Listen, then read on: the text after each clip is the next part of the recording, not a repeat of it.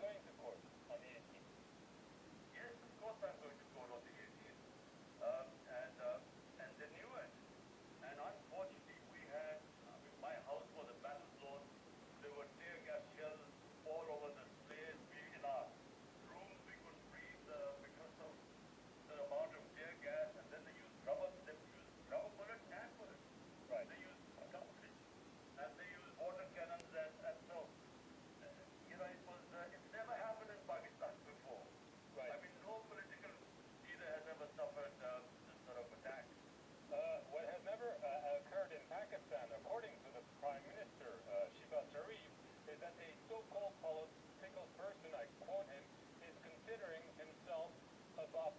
obviously talking about doing. aircraft.